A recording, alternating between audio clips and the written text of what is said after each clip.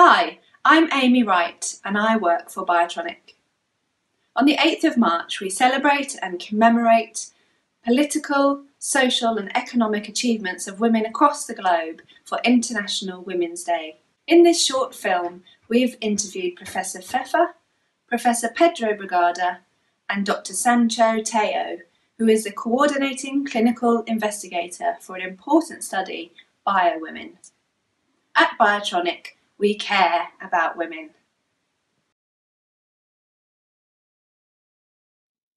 I'm pleased to be supporting Bio Women's Day for heart disease awareness in women.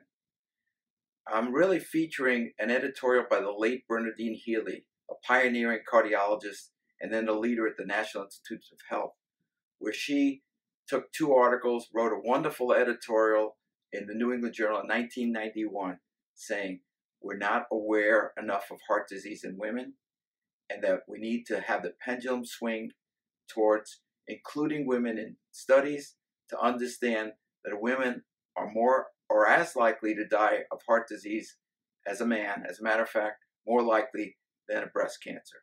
And that pendulum swing happened in the 1990s, and we still need to continue to work to better understand women's problems with heart disease. As ambassador for BIOTRONIK and director of the Bio Alliance teaching program, it is a great pleasure for me to have the opportunity to send a message of congratulations to all women in International Women's Day. Most studies show that cardiovascular diseases is an important cause of death in women. However, most women are underrepresented in the large clinical trial, including trials on cardiovascular resynchronization therapy. BIOTRONIK is aware of these shortcomings and is working at the present time on trials where women will be represented as well as men in the same proportion.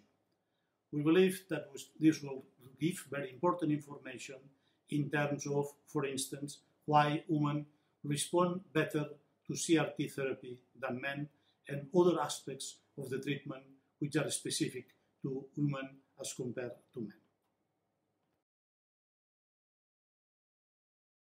Cardiovascular diseases are the leading cause of death among women, accounting for 51% of female deaths in Europe, but this is still underestimated as a health problem for them. Women are less likely to receive guidelines recommended heart failure treatment than men, including less heart failure education and less device therapy.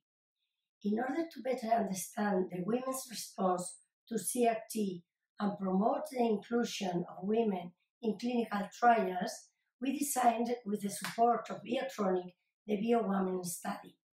It is a prospective, non-randomized, open-label, multi-center international study with equal number of heart failure men and women. The study purpose is to compare CRT response rate in women and men in order to demonstrate a superior CRT response in women.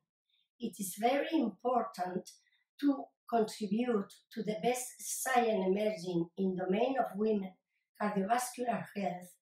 Working in this field, we hope to change the sad statistic quoted at the beginning.